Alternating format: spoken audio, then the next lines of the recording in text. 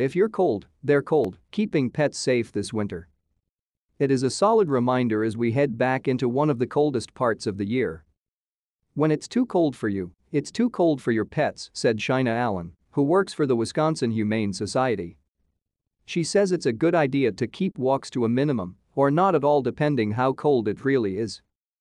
Allen says there are simple things to do to make sure Fido stays safe. To stay up to date with latest top stories, make sure to subscribe to this YouTube channel by clicking the button above this video. Putting down some hay helps. It can be a little barrier between the snow and their paws, she said.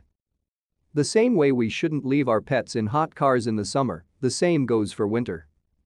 It can be just as dangerous for them, Allen added. When they head back inside after being out, check their paw pads. It can be a quick glimpse into potential problems. Check for snow, ice, salt, even snow.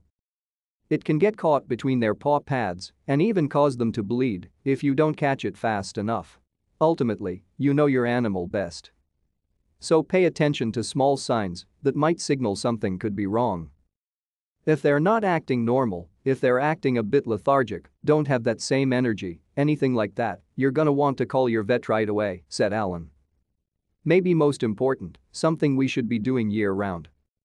Make sure they have a collar on and, if microchipped, your contact information is up to date. It's common for pets to get lost in the snow and ice, said Allen. Their scent isn't as easily followed.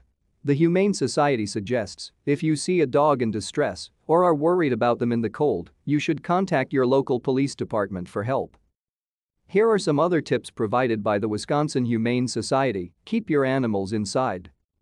Even northern breed dogs like Malamutes and Chow Chows need heated, comfortable shelter away from bitter cold temperatures and high winds to stay safe. Only take your dogs outside long enough to relieve him herself and keep cats indoors at all times. If you see spilled antifreeze, clean it up.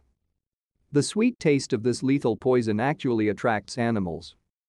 Use more animal-friendly formulations of products if possible, such as propylene glycol instead of ethylene glycol. Always keep your dog leashed on snow and ice. Despite their powerful noses dogs often lose their scent in the snow and ice and can easily become lost. Never leave your companion animal alone in the car, especially in cold weather. The car can quickly become a refrigerator and your beloved animal can freeze to death. When your dog comes in out of the rain, snow or ice, thoroughly wipe off his or her legs, feet and stomach.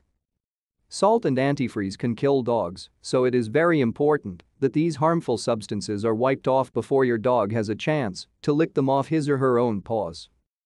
The Wisconsin Humane Society sells booties that can be worn by dogs to help prevent salt and antifreeze from sticking to paw pads also, pay special attention to your canine's paw pads. Snow and ice caught between the pads can make them bleed.